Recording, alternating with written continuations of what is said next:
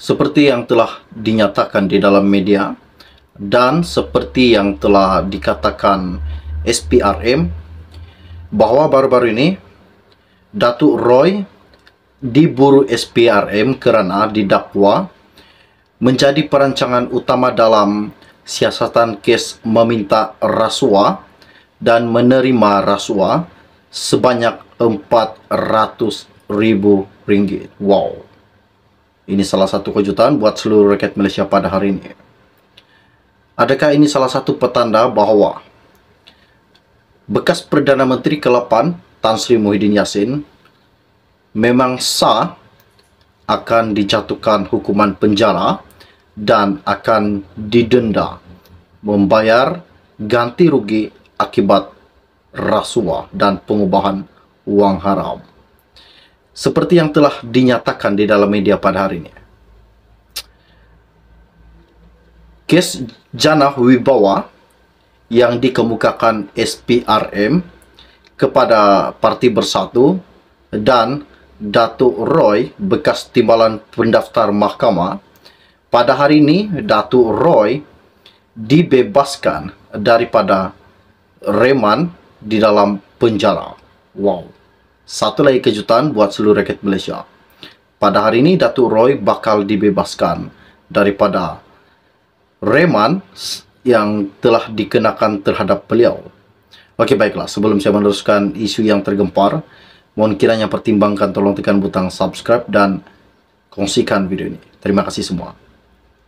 Baru-baru ini di dalam satu media mengatakan info yang saya ambil saya dapat daripada BH Online Ianya berkata, lelaki yang dikenali Datuk Roy dan seorang bekas timbalan pendaftar mahkamah yang direman bagi membantu siasatan berhubung program jana ekonomi per pemerkasanan kontraktor Bumi Putra berwibawa iaitu program Jana Wibawa dilepaskan bermula hari ini dengan jaminan Suruhanjaya Pencegahan Rasuah Malaysia SPRM. Peguam bela kedua-dua lelaki berkenaan, Fahmi Abdullah Moin juga berkata, Magistrit Mahkamah Putrajaya, Irzah Zulaika Rohanuddin membenarkan anak Guam dilepaskan masing-masing dengan seorang penjamin dan perlu melaporkan diri di pejabat SPRM setiap bulan.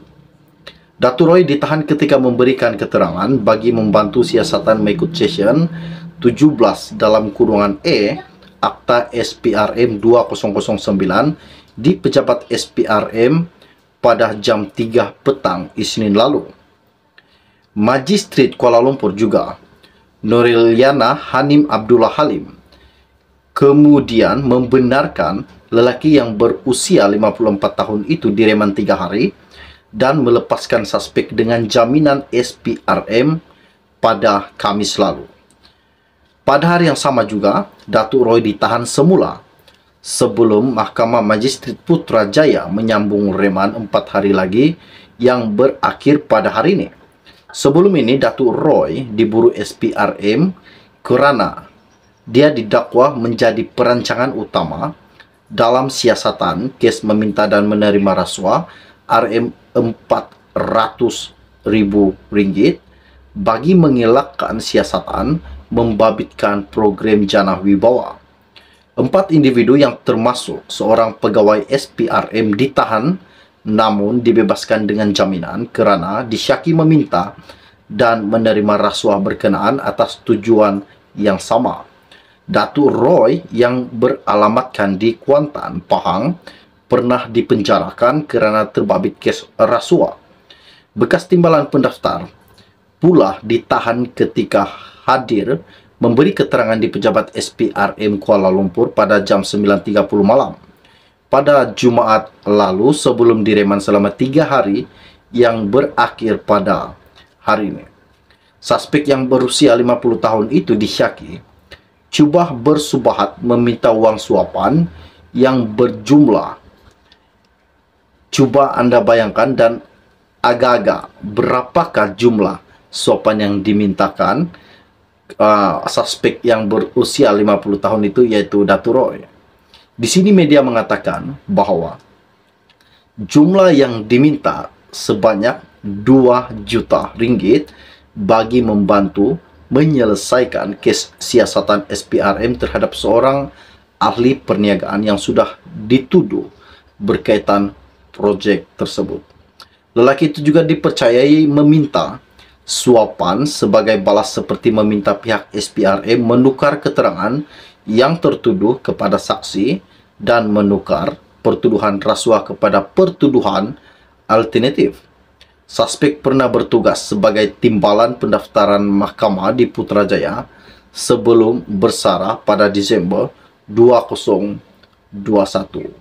Wow, ini satu kejutan buat seluruh rakyat Malaysia pada hari ini. Nampaknya pada hari ini di media ini berkata, kes Jana Wibawa yang dikenakan kepada tertuduh yaitu Datuk Roy hari ini dibebaskan daripada reman. Wow. Adakah ini salah satu petanda bahawa bekas Perdana Menteri ke-8 Malaysia Tan Sri Muhyiddin Yassin juga bakal dibebaskan dan dilepaskan daripada kes tuduh kes yang telah dilontarkan terhadap beliau. Seperti mana yang dilontarkan kepada bekas Perdana Menteri masa itu yaitu Najib Razak. Ini satu kejutan buat seluruh rakyat Malaysia. Adakah bersatu bakal seperti yang telah dinyatakan di dalam media dan seperti yang telah dikatakan SPRM bahwa baru-baru ini Datuk Roy diburu SPRM kerana didakwa menjadi perancangan utama dalam siasatan kes meminta rasuah dan menerima rasuah sebanyak 400 ribu ringgit. Wow. Ini salah satu kejutan buat seluruh rakyat Malaysia pada hari ini.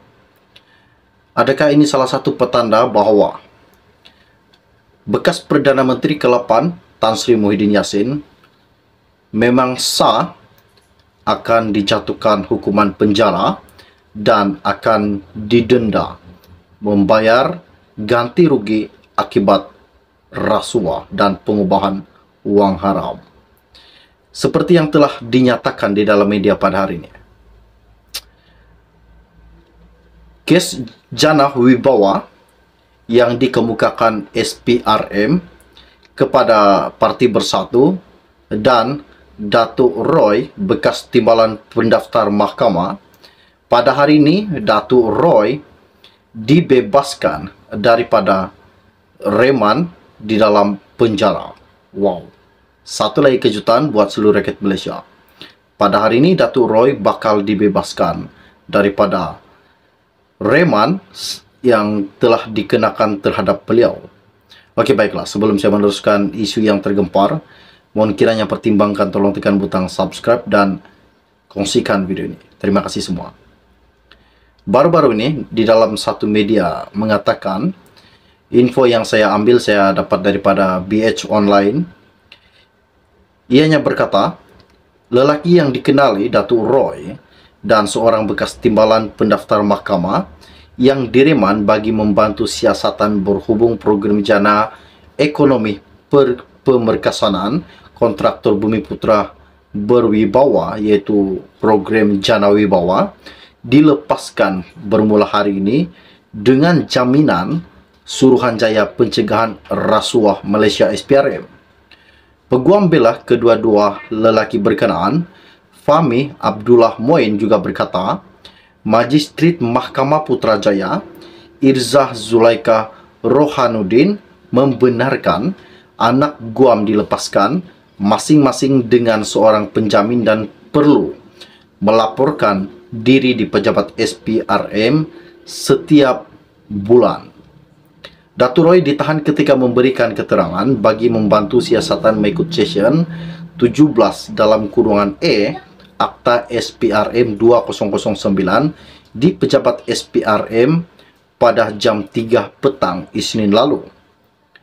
Magistrat Kuala Lumpur juga, Nuriliana Hanim Abdullah Halim, kemudian membenarkan lelaki yang berusia 54 tahun itu direman tiga hari dan melepaskan suspek dengan jaminan SPRM pada Kamis lalu. Pada hari yang sama juga, Datuk Roy ditahan semula sebelum Mahkamah Magistrat Putrajaya menyambung reman empat hari lagi yang berakhir pada hari ini. Sebelum ini, Datuk Roy diburu SPRM kerana dia didakwa menjadi perancangan utama dalam siasatan kes meminta dan menerima rasuah RM400,000 bagi mengelakkan siasatan membabitkan program Janah Wibawa. Empat individu yang termasuk seorang pegawai SPRM ditahan namun dibebaskan dengan jaminan kerana disyaki meminta dan menerima rasuah berkenaan atas tujuan yang sama. Datuk Roy yang beralamatkan di Kuantan, Pahang pernah dipenjarakan kerana terbabit kes rasuah. Bekas timbalan pendaftar pula ditahan ketika hadir memberi keterangan di pejabat SPRM Kuala Lumpur pada jam 9.30 malam. Pada Jumaat lalu sebelum direman selama tiga hari yang berakhir pada hari ini. Suspek yang berusia 50 tahun itu disyaki cuba bersubahat meminta wang suapan yang berjumlah cuba anda bayangkan dan agak-agak berapakah jumlah suapan yang dimintakan uh, suspek yang berusia 50 tahun itu yaitu Datu Roy. Di sini media mengatakan bahwa jumlah yang diminta sebanyak 2 juta ringgit bagi membantu menyelesaikan kes siasatan SPRM terhadap seorang ahli perniagaan yang sudah dituduh berkaitan projek tersebut. Lelaki itu juga dipercayai meminta suapan sebagai balas seperti meminta pihak SPRM menukar keterangan yang tertuduh kepada saksi dan menukar pertuduhan rasuah kepada pertuduhan alternatif. Suspek pernah bertugas sebagai timbalan pendaftaran mahkamah di Putrajaya sebelum bersarah pada Disember 2021. Wow, ini satu kejutan buat seluruh rakyat Malaysia pada hari ini. Nampaknya pada hari ini di media ini berkata, kes Jana Wibawa yang dikenakan kepada tertuduh yaitu Datuk Roy hari ini dibebaskan daripada reman. Wow. Adakah ini salah satu petanda bahawa bekas Perdana Menteri ke-8 Malaysia Tan Sri Muhyiddin Yassin juga bakal dibebaskan dan dilepaskan daripada kes tuduh kes yang telah dilontarkan terhadap beliau. Seperti mana yang dilontarkan kepada bekas Perdana Menteri masa itu yaitu Najib Razak. Ini satu kejutan buat seluruh rakyat Malaysia.